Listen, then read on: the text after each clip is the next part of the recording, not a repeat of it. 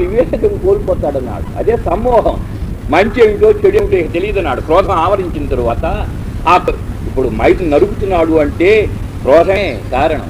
క్రోధమే ఆ క్రోధం పూర్తిగా ఆవరించే వరకు తరువాత వీడిని నరికితే వచ్చే అనర్థము లేవత్తు ఆలోచించే శక్తి ఉండదు కనుక వీడిని ఇప్పుడు చంపామే చంపితే ఆ కోర్టులో తీసుకుపోయి పడేస్తారు వాళ్ళంతా ఎరగబోతారు పోలీసులు. తరువాత ఆ కోర్టు విచారణ చేసి ఆ మరి ఖైదు పాడు ఎంతో బాధ ఉంది అని చెప్పి ఇదేది ఆలోచించదు ఆలోచించే యొక్క శక్తి ఉండదు. ఏమిటయా అంటే క్రోధం వచ్చేసింది శరీరానికి. మనసునికి క్రోధం వచ్చిన తరువాత ఈ వివేకములేమి లేకుండా ఆ ఆవేశంలో ఎంత పనైనా చేసేస్తాడు సమ్మోహ సమ్మోహాత్ స్మృతి వ్యభ్రమ సమ్మోహం వలన ఇలాంటి యొక్క ఆవేశం ఎప్పుడైతే వచ్చిందో వీనున్నాడు వీడు కూడా.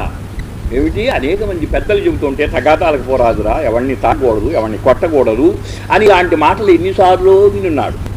విని నిశ్చయమేను అని చెప్పి కూడా నిర్ణయించుకుని ఉన్నాడు. కానీ అప్పుడు గుర్తుకు రాదన్నాడు. ఆ ఆవేశంలో వీడికి గుర్తుకు రాదు. స్మృతిభ్రంశ తాను పెద్దల వలన విన్నటువంటి యొక్క ఆ శాస్త్రజన్య వాక్యములు కానీ పెద్దలు చెప్పినటువంటి యొక్క వాక్యములు కానీ ఇవేవి కూడా గుర్తులోకి రావడం. ఈ ఆవేశంలో అది పోతున్నాడు మురుగున పడిపోతుంది. ఆ స్మృతి అది ఏదైనా ఒకటి వచ్చే గుర్తుకి ఆగిపోతాడు. పెద్దవాడు చెప్పారే తగాదా పోవద్దని. అని గుర్తుకు వచ్చి ఆగిపోతాడు. కానీ రాదుగా? గుర్తుకు రాదు. స్మృతి భ్రవిష స్మృతి భ్రవిషాత్ బుద్ధినాశ. ఎప్పుడైతే ఆ స్మృతి నశించిపోయిందో విన్నటువంటి యొక్క శాస్త్ర జ్ఞానం అంతా కూడా నశించిపోయిందో బుద్ధినాశ. ఇక నిర్ణయం చేసేది బుద్ధి. ఇదిగో ఇట్లా చెయ్యి. ఇలా చేయవద్దు అని చెప్పి చెప్పేటటువంటి బుద్ధి నశించిపోతుంది. ఆ స్మృతి పోయిన తర్వాత బుద్ధినాశాత్ ప్రణశ్యతి. బుద్ధినాశం వలన ఏది ఏది చేయవలయను ఏది చేయరాదో నిర్ణయించేది బుద్ధి. అది పోయిన తరువాత ఇక వీడు ఏదైనా చేస్తాడు. ప్రణశ్యతి పిచ్చి పనులు చేసి నశించి తక్కబోతూ ఉన్నాడు. నశించిపోతూ ఉంటాడయ్యా. ఇది దీని వస ఈ వరుసలో వెళ్ళిపోతూ ఉంటారంతా. ఈ వరుసలో కానీ మొట్టమొదటే ఆ విషయ ధ్యానం ఉండే విషయం ఉన్న మనస్సునికే రానియకుండా వీడు అరికట్టుకుంటే వచ్చిన వాటిని సమీపించటానికై దగ్గరకు చేరకుండా చేసుకుంటే ఈ బాధ అంతా అదనాడు కడమాదంతా. కామము లేదు తరువాత క్రోధము లేదు సమ్మోహము లేదు స్మృతి నాశనము లేదు బుద్ధి నాశనము లేదు నశించిపోడన్నాడు అక్కడే జాగ్రత్త పడ్డట్లయితే మొట్టమొదట్లోనే వీడికి ఈ బాధ అంతా రాదు. అక్కడ జాగ్రత్త పడకపోయిన తర్వాత ఇదంతా వచ్చి ఇక్కడ ఆగుతున్నాడు ఎక్కడ?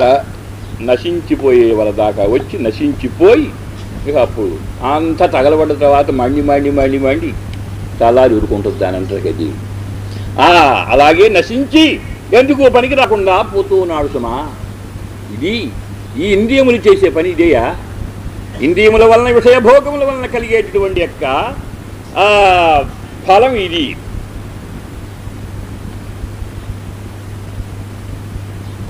కాబట్టి వాటికి మనస్సులో తావు ఇయ్యరాదన్నాడు.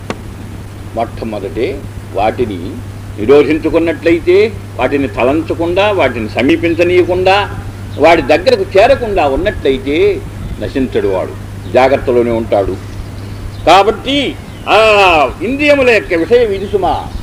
ఇవి ఈ శ్లోకములు ఉన్నాయే. ఈ యొక్క రెండు శ్లోకాలు కూడా గోడ మీద రాసుకోమన్నాడు ఒక ఆయన. గోడ మీద రోజు క్యాలెండర్ తగిలించుకుంటారు. ఇవాళ తారీఖు ఏమిటి? ఇవాళ వారం ఏమిటి అని చూచిపోతూ ఉంటాడు. ఆ క్యాలెండర్లో చూసి ఇవాళ ఆహా, పలాని తారీఖు పలాని నెల ఫలాని వారం అని చెప్పి చూచిపోతూ ఉంటాడు అలాగే చూడాలరా ఈ శ్లోకాలు రెండు అన్నారు. గోడ మీద పెద్ద అక్షరాలతో రాసుకొని అలా చూచి ఒకసారి చదువుకొని ఇక చేయడు ఈ పనులు చేయడు జాగ్రత్తలో ఉంటాడు. జాగ్రత్తలో ఉన్న తరువాత ఇక వాడికి ఏం బాధలేదు అయితే ఆ మధ్వ లక్ష్మణాచార్యుడు గారిని మద్రాసులో గీతోపన్యాసం చేసేవాడు ఆయన మధ్వ మతస్థుడు. ఆయన గీతోపన్యాసం అంటే వేల కొలది జనం వచ్చేవాడు. మూడు మతములను అన్వయించి చెబుతూ ఉండేవాడు. మూడు మతాలకు సరిపెట్టి గీత ఏది? ద్వైత అద్వైత విశిష్టాద్వైతముల మూటికి కూడా సరిపెట్టి చెబుతూ ఉండేవాడు. అందువలన ఆ వేల కొలది వచ్చి మూగేవాడు వింటానికి ఆ గీతోపన్యాసానికి. ఆయన చెప్పాడు ఇది ఈ మాట. రాసుకుంటారా పెద్ద అక్షరాలతో రాసుకొని ఇది ఒకసారి చూచి వెళ్ళిపోండి మీరు మీ పనులకి వెళ్తే అది గుర్తులో అట్టి పెట్టుకుంటే ఇక దా- వాటి జోలికి పోరు మీరు. పోకపోయిన తర్వాత మీకు బాగలేదు అని. ఆయన చాలా గొప్పవాడు గొప్ప పండితుడు. చిన్నతనములో పిఠాపురంలో వేద పరీక్షలు ఉండేవి అన్ని శాస్త్రాల్లోనూ పరీక్షలు ఉండేవి ఆ పరీక్షల్లో నెగ్గినటువంటి వాళ్ళకు అక్కడ పండితులు ఉండేవాళ్ళు ఆయా శాస్త్రాలు తర్కానికి ఒకరు వ్యాకరణానికి ఒకరు ఆ జ్యోతిష్ శాస్త్రానికి ఒకరు మీమాంసకు ఒకరు. ఇలా పండితులు ఉండేవాళ్ళు పెద్ద పెద్ద పండితులు. వాళ్ళు పరీక్ష చేసేవాళ్ళు వెళ్ళి వెళ్ళిన వాళ్ళని. పెట్టుకోవాలి. నేను ఫలాని శాస్త్రంలో ప- పరీక్ష ఇస్తాను అని. పెట్టుకుంటే వాళ్ళు పరీక్ష చేసి వాళ్ళ డిగ్రీలు వేసి ఇచ్చేవాళ్ళు. ఏది? ఆ గ్రేడులు మొదటి గ్రేడ్ అని రెండవ గ్రేడ్ అని మూడవ గ్రేడ్ అని ఇలా వేసి ఇస్తే దాని ప్రకారంగా ఆ సంస్థానంలో సంవత్సరానికి ఒకసారి వీళ్ళకి డబ్బులు ఇచ్చేవాడు ఐదు వందలని వెయ్యి వెయ్యి నూట పదహారులని నూట పదహారులని ఇలా ఒక్కసారి ఆ పరీక్ష ఇస్తే వాడు బ్రతికినంత కాలం పోవడం అని తెచ్చుకోవడం అలా జరుగుతుండేది వేదమునందు ఒక ఆయన ఉండేవాడు వేద పండితుడు. వేదములు గొప్పవాడు ఆయన ఆయన అక్కడ పరీక్షకుడు. అది వచ్చారట పండితులంతా కూడా ఈ వేదం చదువుకున్న వాళ్ళంతా. వేదం చదవడం అంటే వాళ్ళకి అర్థం తెలియదు. అర్థం తెలియదు. ఆ వేద పండితులు అంటారే ఊరికే చదువుతారంతే. దాన్ని పాఠం ఆ గురువు అంటూ ఉంటే వీడు చెప్తూ ఉంటే వీడు అంటూ ఉండాలి. ఆ ఉదాత్త అనుదాత్త స్వరితములున్నాయి. ఆ స్వరములతో కూడా ఇవి రాయటానికి వీలు పడవయి స్వరం రాయటానికి వీలు పడేవి కాదు అవి పలికటానికి మాత్రమే వీలు పడతాయి అందువలన రాతగా లేదు వేదం. అలా పలకటానికి మరి రా అది రాయాలంటే అనక వాడు చెప్పినట్టుగా పూవట బాబా అన్నాడు. తలపై ఎక్కడ రాస్తాది? రాయటానికి వీలు పడేది కాదు. అలాంటిది ఇది. ఈ స్వరములు రాయటానికి వీలు కావు. ఆ కారణం చేత ఆ గురువు చెబుతూ ఉంటే వీడు అంటూ ఉంటే కొంతకాలానికి వస్తుంది. కొంత ఇది ఒక పనస అనేది అంతవరకు నేర్చుకునే తర్వాత రెండవది ఆరంభం చేస్తూ ఉంటాడు. అట్లా పోయేది ఆ వేదాధ్యయనం. వాళ్ళు ఊరికే ఆ పవిత్రములైనటువంటి యొక్క వేదములను ఉచ్చరించినందువల్ల వాళ్ళు పవిత్రులే తప్ప వాళ్ళు ఇది విషయాన్ని చెప్పలేరు. దాని అర్థం అసలు తెలియదు. ఊరికే చదువుతారంతే. దాన్ని ఆ చదివే దాంట్లో క్రమం అని సంహిత అని క్రమం అని జట అని ఘనం అని ఉన్నది. దాంట్లో మెట్లు. సంహితా భాగాన్ని ఊరికే మూలం అది. ఆ సంహితా భాగం అంటే ఆ స్వరములతో దాన్ని చెబుతారు. తరువాత ఇక క్రమం. క్రమం అంటే మూడు సార్లు తిరుగుతూ ఉంటుంది శబ్దం. మూడు సార్లు తిరుగుతూ ఉంటుంది. వచ్చిన శబ్దమే మూడు సార్లు వస్తూ ఉంటుంది. ఆ? ఆ, లేదది దేవస్య గృహే మునయో వసంతి దేవస్య గృహే మునయో వసంతి గృహే మునయో వసంతి మునయో వసంతి మునయో వసంతి దేవా దేవా మునయో వసంతి అని ఇట్లా తిరుగుతూ ఉంటాడు ఊరికి శబ్దం. ఆ, మూడు సార్లు తిరిగితే అది జట అంటారు. ఆరు సార్లు తిరిగితే ఆరు సార్లు తిరుగుతుంది. అది క్ర- క్రమము అంటారు పాఠం. పన్నెండు సార్లు తిరుగుతుంది అది ఘనము అంటారు. ఒక్కొక్క శబ్దం పన్నెండు సార్లు ఆవృతం అవుతూ ఉంటుంది. ఎందువల్ల అంటే దాంట్లో తప్పులు పోకుండా ఇది కొత్త మాటలు వచ్చి చేరకుండా అదే వేదం కట్టుదిట్టమైనటువంటిది ఏమాత్రం ఒక శబ్దం పోయింది అంటే అర్థం భేదించిపోతుంది. ఆ కారణం చేత అంత కట్టుదిట్టం చేశారు. ఆ ఘనం అంటారు ఆఖరిది ఆ సంహితా భాగాన్ని చదువుకోవటానికి ఒక మూడు సంవత్సరాలు అయితే కానీ చదువుకోలేదు. ఇక క్రమము తర్వాత జట క్రమము ఇవన్నీ కూడా చదవాలను అంటే ఏడెనిమిది సంవత్సరాలు పడుతుంది. ఘనాంత స్వాధ్యాయి కావాలను అంటే పన్నెండు సంవత్సరాలు చదవాలి. పన్నెండు సంవత్సరాలు చదివితే వాడు ఘనాపాఠీలు అంటారే? ఘనాంత స్వాధ్యాయి. పన్నెండు సార్లు తిరుగుతూ ఉంటుంది ఒక్కొక్క శబ్దం. ఈయన ఎనిమిది సంవత్సరముల వయస్సులో పిఠాపురానికి వెళ్ళాడు ఈ లక్ష్మణాచార్యులు గారు. వెళ్ళి ఆ వేద పండితుని దగ్గరికి వెళ్ళాడు వెళ్ళి అజ్జి పెట్టాడు. వేదంలో పరీక్షిస్తారు పెద్ద పెద్ద పండితులంతా వచ్చారు వేద పండితులు. వాళ్ళందరినీ పరీక్షిస్తున్నాడు ఆయన. కానీ కటు గాఢంగా ప్రశ్నించరు వాళ్ళు. ఎందువల్ల అంటే ఎక్కడి నుండో బ్రతుకు తెరువు కానీ ఏదో ఇష్ట పట్టుకుపోదామనే ఉద్దేశంతో వస్తూ ఉంటారు. కాబట్టి అట్టి వాళ్ళని లాగిపెట్టి సాగదీస్తే చచ్చిపోతారని చెప్పి తేలిగ్గానే ప్రశ్నించి వదిలేసేస్తూ ఉంటారు వాళ్ళు.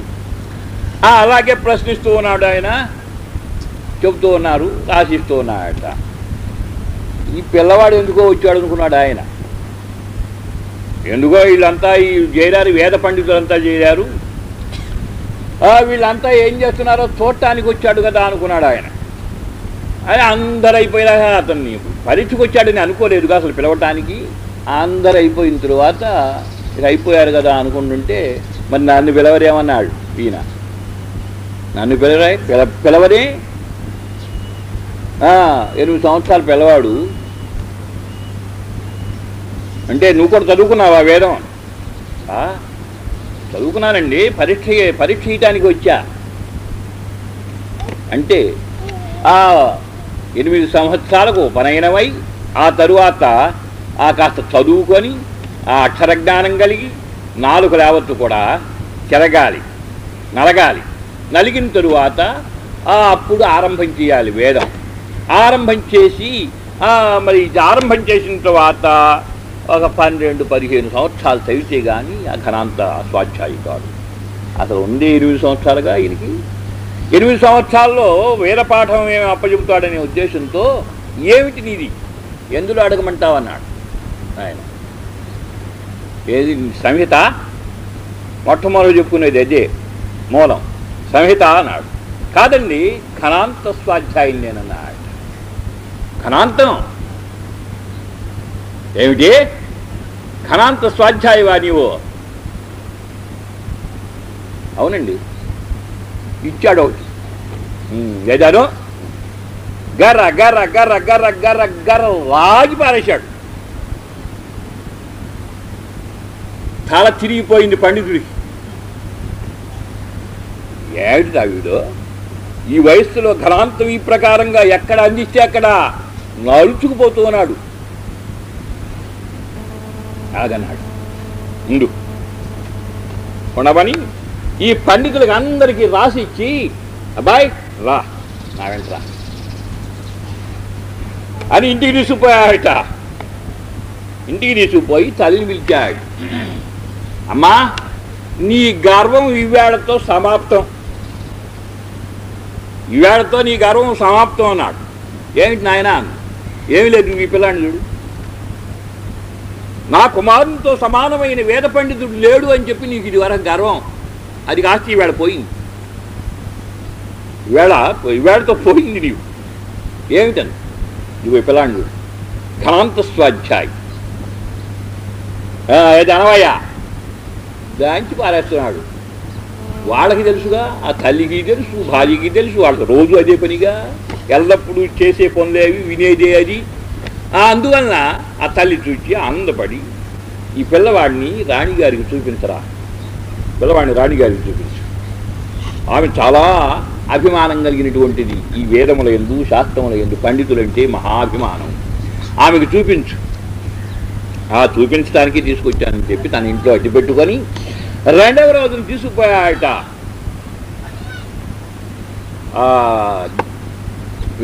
రాజా లోపలికి ఆ దేవుడిలో. తీసుకుపోయి ఆ రాణిగారికి చెప్పాడు అమ్మా చాలా గొప్పవాడు పిల్లవాడు. ఆ ఘనాంత స్వాధ్యాయి అంటే వాళ్ళకు ఉన్నది ఈ పరిచయం ఈ పండితులతో ఎప్పుడూ కూడా. ఆహా, వాళ్ళు రావటం వాళ్ళు మాట్లాడటం వాళ్ళు ఏం మాట్లాడేది అంతా గ్రహించగలిగే శక్తి వాళ్ళకే ఉన్నది. అక్కడ చదివిస్తే ఆమె ఆనందపడిందిట. ఆనందపడి అడిగిందిట నాయనా నీకు తల్లిదండ్రులు ఉన్నారా? అని. తల్లిదండ్రులు ఉన్నారా నీకు? అంటే అమ్మా తండ్రి లేడు కానీ అన్నాడు ఊరుకున్నాడు తండ్రి లేడు. అంటే సందేహిస్తావే తల్లో లోకమునందు ఆ గుణగ్రహణం చేసి పోషించే తల్లులు మీవోటి వారు అనేక మంది ఉండగా లేదు తల్లి అని చెప్పి చెప్పడానికి సందేహించి చెబుతూ ఉన్నాను ఆగాను నేను. తల్లి లేదన్నాడు. తల్లి లే- లేదు తండ్రి లేడు. కానీ తల్లి లేదు అని చెప్పి మీ ఓటు తల్లులు ఎంతమంది ఉన్నారు లోకంలో పోషించేవారు? ఉండగా తల్లి లేదు అని చెప్పి ఎలా చెప్పను? ఈ నోడితో అందుకని సందేహించి ఆగాను నేనన్నాడు అంటే కౌగులించుకొని ఆ రాణి భారంగా ఇచ్చి నీ జీవితంలో ఎప్పుడైనా సరే ఆ వచ్చి ఆ ప్రతి సంవత్సరం కూడా మూడు వేల రూపాయలు మంజూరు చేసిందట ఆ కాలంలో. ఎత్తుకుపోవటమే తీసుకుపోవటమేనండి. ఆయన ఈ చెప్పి ఈ మాట చెప్పింది ఆయన. ఏది క్యా క్యాలెండర్ శ్లోకాలుగా దాని మీద రాసుకోండి గోడ మీద. రాసుకొని దాన్ని ఒకసారి చూచి వెళ్ళండి. వెళితే ఇక బాధ లేదు. ఇక అది స్మృతిలో ఉంటే ఇక బాధ కలగదు సుమా. కలిగి ఈ వరుసలో నశించిపోతూ ఉన్నారు సుమా. అందరూ కూడా ఈ యొక్క ఇంద్రియముల యొక్క విషయం ఉన్నది ఇలా ఉన్నది. అంటే ఇంకా దృష్టాంత రూపంగా చెబితే మీ మనస్సుకు బాగా పడుతుంది. ఇప్పుడు పట్టినట్టుగా లేదు నాకు. మిమ్మల్ని చూస్తూ ఉంటే పట్టినట్టుగా లేదు. ఆ, అదే ఉదాహరణ రూపంగా చెబితే అప్పుడు ఇంకా ఇంకా కొంచెం పడుతుంది. ఎలాగూ అంటే సౌహరినేటటువంటి యొక్క మహర్షి తపస్సు చేస్తూ ఉన్నాడు. యమునా నది తీరంలో ఆశ్రమం వేసుకొని అక్కడ తపస్సు చేస్తూ ఉన్నాడు.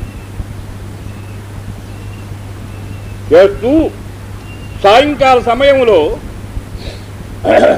ఆ సమాధిని ఆపి ఆ యమునా తీరంలో చల్లని గాలి కొడుతూ ఉన్నది. నదీ తీరములు ప్రకృతి రమ్యములు కదా. పర్వత ప్రాంతములు నదీ తీరములు అవన్నీ కూడా ప్రకృతి సహజ సిద్ధమైనటువంటి యొక్క రామణీయకం కలిగి ఉంటాయి. అందు అందువల్లనే అక్కడ చేరుతారు వాళ్ళు. పర్వత సమీపంలో నదీ తీరంలో చేరుతూ ఉంటారు. ఎవరు మహర్షులంతా కూడా. అక్కడ సమాధి తపస్సు సాధించి కూర్చున్నాడు యమునా నది ఒడ్డున. కూర్చుని చూస్తూ ఉన్నాడు. చూస్తూ ఉంటే ఒక చేప బయలుదేరింది. పెద్ద చేప. దాని చుట్టూ రెండు మూడు వందల పిల్లలు ఉన్నాయి చిన్న చిన్న పిల్లలు దాని పిల్లలే. వాటిని వెంట పెట్టుకొని ఆ యమునా తరంగముల ఎందు తేలుతూ ఆడుతూ వాటికి ఏదో అందిస్తూ ఉంది ఆహారాన్ని అవి తింటూ ఉన్నాయి. అవన్నీ కూడా ఆ దీని మీద పడను. వాటిని కాసేపు ఎత్తుకోను కాసేపు దించను. ఆ ఇలా ఆనందంగా తిరుగుతున్నాయి. ఆ చేప చేప పిల్లలు. చూచాడు ఈయన ఈ మహర్షి సౌకర్యం ఆహాహా ఈ చేప పని ఎంత బాగా ఉంది? ఎంత ఆనందంగా ఉంది. దాని పిల్లలు అది ఆ హాయిగా సంచరిస్తూ ఉంది. చాలా ఆనందంగా ఉంది చూడటానికి పరస్పరంగా దాని మీద దా- వాటి మీద దానికి ప్రేమ ఆ చేప మీద ఈ పిల్లలకు ప్రేమ. వదిలిపెట్టకుండా కాస్త దూరం వెళ్ళే వరకు మళ్ళీ పరిగెత్తుకుంటూ పోయి కలుసుకుంటూ ఉన్నాయి. ఇట్లా ఉండాలి జన్మ అంటే. జన్మ అనగా ఇలా ఉండాలి. మన జన్మ ఏమి జన్మ? ఈవేళ తలకాయ నొప్పి వస్తే ఎట్లా ఉందని అడిగేవాడు కానీ ఈ మందు వేసుకోమనేవాడు కూడా లేడే. చచ్చే చావటం బ్రతికితే బ్రతకడం. అంతే తప్ప ఏమిటి నీ పరిస్థితి అని అడిగేవాడు కూడా లేడే. ఈ ఏకాకి బ్రతుకున్నది ఈ జీవనం అంత వ్యర్థం ఇంకోటి లేదు. హాయిగా మహా. ఆ ఉన్న నాలుగు రోజులు ఆనందంగా వెళ్ళిపోవాలి జీవితం. అంతేగాని ఈ చావేమిటి? నేను ఈ తపస్సు చేస్తూ కూర్చున్నా. ఏ బాధ కలిగినా ఆలోచించేవాడు కానీ అయ్యో పాపం అనేవాడు కానీ ఎవరూ లేడే. ఈ ఏకాకి ఆ బ్రతకడం చాలా అనవసరం అని కలిగింది. అయితే ఏకాగ్య బ్రతక ఏం చేయవలను? మనం కూడా పెళ్ళి చేసుకుందాం. మనం కూడా పెళ్ళి చేసుకుందాం. పెళ్ళి చేసుకుంటే ఇలాగే పిల్లలు పెళ్ళాము అంతా కూడా కాలం హాయిగా గడిచిపోతుంది అని కలిగింది. చేసుకోవాలి పెళ్ళి ఇప్పుడు. ఎవరిని చేసుకుంటాడు పోయి? ఎవరిస్తారు? ఇస్తే సామాన్యులైనటువంటి వారిని చేసుకున్నందువలన ప్రయోజనం ఏమిటి? చేసుకుంటే గొప్పవాళ్ళని చేసుకోవాలి అంతేగాని సామాన్యులు ఎందుకు? గొప్పవాళ్ళ రాజకాంతలను చేసుకోవాలి. రాజకాంతలను చేసుకోవడానికి ఎవడిస్తాడు ఈయనకి?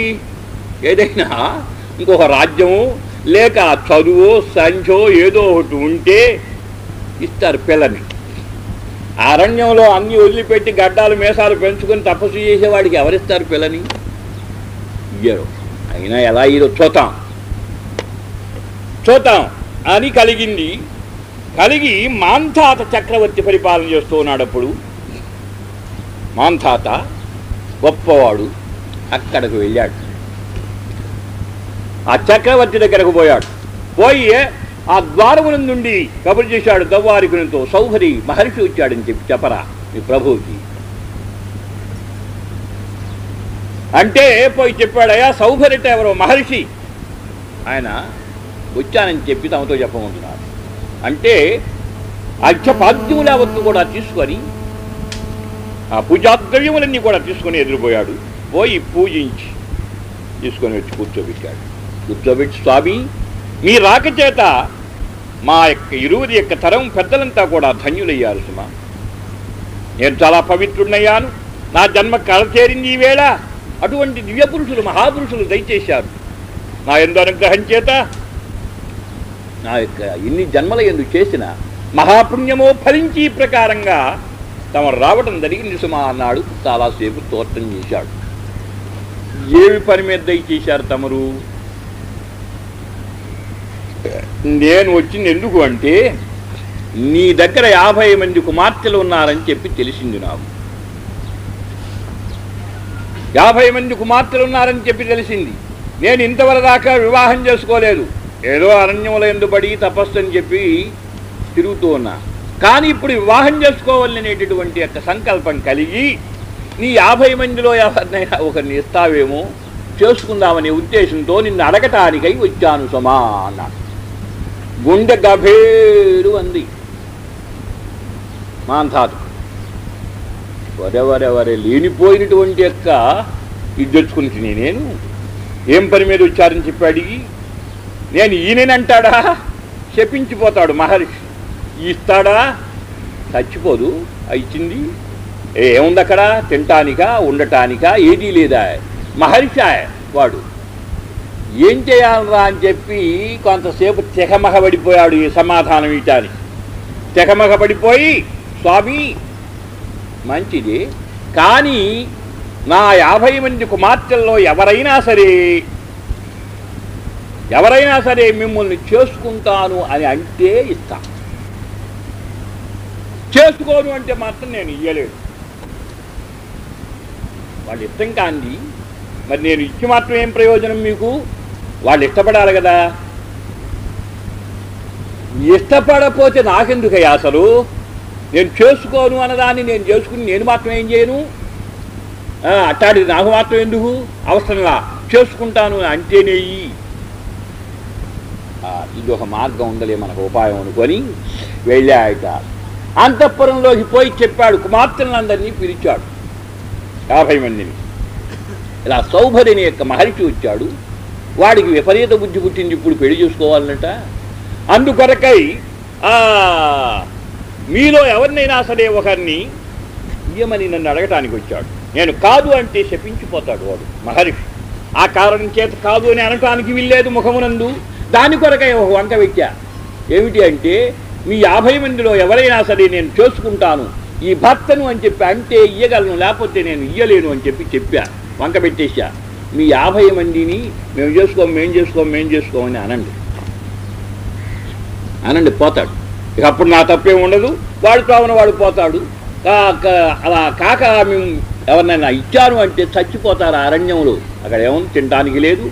ఆ నివాసం చేయడానికి ఇళ్ళు లేవు వాకిళ్ళు లేవు ఏమీ లేవు. కనుక బాధపడిపోతారు కనుక అది మీకు చెబుతూ ఉన్నాను ఇది గుర్తుపెట్టుకోండి. మాకెందుకు ఆ- ఆ మొదనష్టపాడన్నారు మహర్షి ఏమిటి? మహర్షి నామేం చేసుకునేది? ఎవడైనా రాజపుత్రుడు. ఆ, అలాంటి వాళ్ళైతే చేసుకుంటాం కానీ ఆ మహర్షి మాకెందుకు అన్నారు. "ఆ, అదే విషయం చెబుతూ ఉన్నాను. అని చక్కగా అలంకరింపజేశాట కుమార్తెనందరినీ అలంకరింపజేసి ఒక సౌధంలో పెట్టి మహర్షిని స్వామి దయచేయండి అన్నారు. రండి. ఒక ఆసనం ఒకటి వేసి దాని మీద కూర్చోబెట్టి ఇదిగో వీళ్ళు నా కుమార్తెలు. యాభై మంది. చూడండి. కనుక నేనేదో చేశారని తమరు అనుకోవాల్సిన పని లేదు. మీ సన్నిధానం మీ సమక్షంలోనే అడుగుతున్నాను. అమ్మాయి మీలో ఎవరైనా సరే ఈ మహర్షిని చేసుకుంటారా అన్నాడు. యాభై మంది కూడా మేము ఈయన్నే చేసుకుంటామన్నారు. ఊహడు కాదు. ఈయన తప్ప ఇంకొకటి మాకు అవసరం లేదు. ఈయన్నే చేసుకుంటాం మేము. తల్లగ్రిందులైపోయింది వాడి పని. ఏమిటిరా అంటే ఈ గడ్డాలు మేసాలు ఇవన్నీ వీళ్ళకి కనిపిస్తున్నాయి. యోగ పురుషుడు వాడు యోగాన్ని అభ్యసించి తపస్సు చేసి ఉన్నటువంటి వాడు కనుక ఆ మన్మథుడు నవ మన్మథుడు ఎలా ఉన్నాడు? అలా ఉన్నాడట వాళ్ళ కళకు. రూపం మార్చేశాడు వాళ్ళ యొక్క కళకు. చూశారు. చూచి ఈ భర్త తప్ప మాకు ఇంకెవరూ అవసరం లేదన్నారు ఒక్కసారిగా. ఇంకేం చేస్తాడు వీడు? అదే అదే అదే నేను ఇంత బోధిస్తే అంతా తలకిందులైపోయింది అని అనుకొని ఇక కాదంటానికి ఏం సాధ్యపడదే? కాదంటే చ- చంపిపోడు. ఆ, లాభం లేదు. అని అవతలి తీసుకుపోయి నానా తిట్టు తిట్టాడు. మీకు నేను ఎంత చెప్పిన విషయం అంతా కూడా. చెప్పిన తర్వాత అంతా పైగా యాభై మంది చేసుకుంటామని చచ్చిరే ఇప్పుడు ఏం చేయాలి నేను? మేము ఆయన తప్ప ఇంకోరిని చేసుకోమని ఆయన చావండి. మీ చావు అట్టా ఉంది. నే నేనేం చేసేది? పోయి అరణ్యంలో చదురుగాని కానీ పొండి. ఆ, అని చెప్పి యాభై మందిని ఇచ్చి వివాహం చేశాడు. ఆ సౌహరి. వివాహం చేసుకొని వెంట పెట్టుకు తీసుకుపోయాడు. అరణ్యంలోకి తీసుకుపోయాడు. తీసుకుపోయి వీళ్ళంతా రాజక రాజకన్యలు. మహాభోగములుగా పెరిగినటువంటి వాళ్ళు.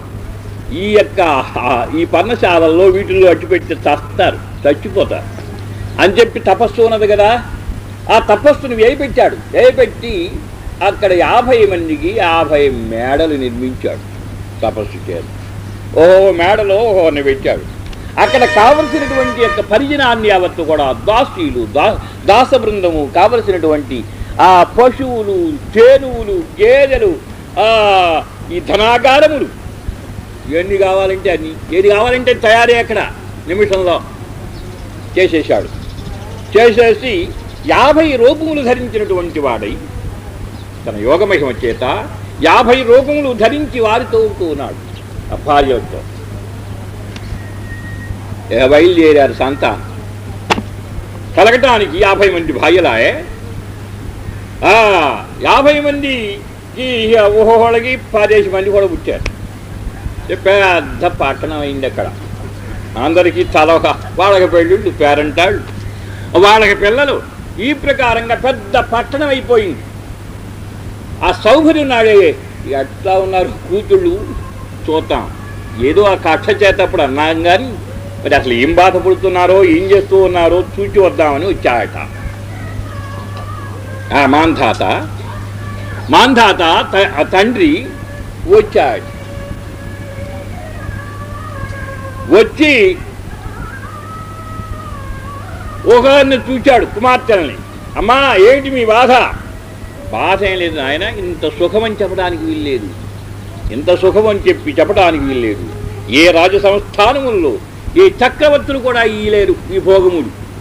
అటువంటి యొక్క భోగము మాకు ఏ కొరత కాలేదు. మహాసంపూర్ణంగా ఉన్నది అన్నీ కానీ ఒక్క కొరత. ఏమిటయా అంటే ఎప్పుడు చూచినప్పటికీ నా దగ్గరే ఉంటున్నాడు ఆయన. ఎప్పుడు చూసినా నా దగ్గరే ఉంటూ ఉన్నాడు. కడవాళ్ళంతా ఎంత బాధపడుతూ ఉన్నారో మరి. నేను చెప్పినా కూడా ఏమి అంగీకరించట్లేదు. అది ఒక్కటే బాధ తప్ప ఇంకేమీ లేదు అందట. రెండో కుమార్తె దగ్గరికి పోయాడు. ఆమె ఇలాగే చెబుతూ ఉన్నది. అందరూ ఇలాగే చెప్పారు. నా దగ్గరే ఉంటూ ఉన్నాడు ఇంకెక్కడా ఉండలేదు అని. అప్పుడు అర్థమైందట ఆ ఓహో యోగ మహిమ చేత అన్ని రూపములు ధరించి అందరి దగ్గర ఉంటూ ఉన్నాడు ఏకకాలమునందు అని ఆనందపడి పోనీళ్ళండి ఎవరైతేమి మీరు సుఖంగా ఉండటమే నాకు కావలసిందని చెప్పి ఆనందపడి వెళ్ళిపోయాడు. ఆ మాంతాత వెళ్ళిపోయిన తరువాత పెద్ద పట్టణం అయిపోయింది. బ్రాహ్మాణంగా ఉంది. ఉంటే కొన్ని సంవత్సరములు గడిచిపోయిన తరువాత యాభై అరవై సంవత్సరాలు గడిచిపోయింది దీంతో. గడిచిపోయిన తర్వాత అప్పుడు స్మృతికి తిరిగిందట. అరే అరే అరే అరే అరే నేను ఈ తుచ్చమైనటువంటి యొక్క సంసారమునంతా కూడా వదిలి గోచి మొలతాడు తెంచి వహించి ఆ సర్వేశ్వర సన్నిధానమును పొందవలను అని చెప్పి భగవత్ప్రాప్తిని పొందవలని కదా నేను అరణ్యములో తపస్సునకు ఆరంభించింది అటువంటి యొక్క తపస్సుంతా కూడా విఘ్నమై నాశనమైపోయి ఇదేమిటి ఈ సంసారం. ఒకడా ఇద్దరా ఈ పిల్లలు వీళ్ళకి అందరికీ కూడా పెళ్ళిళ్ళు పేరెంటాళ్ళు ఇవన్నీ కూడా చేస్తూ ఉంటే తల మునకలవుతూ ఉన్నది. దీంతో కూడా మునిగిపోయామే సంసారంలో. దేన్ని వదలుచుకోవాలని మనం ప్రయత్నం చేశాము. అటువంటి యొక్క సంసారం అన్నది అపారమైన సంసారాన్ని నెత్తి మీద వేసుకోవడం అయిపోయింది. ఛా ఛా ఛా ఛా ఎంత ఆ సత్యమయ్య పని చేశాను నేను అని చెప్పి ఆవేదన కలిగిపోయిందట. ఆవేదన కలిగి దీనికి అంత మూలం ఏమిటి చాప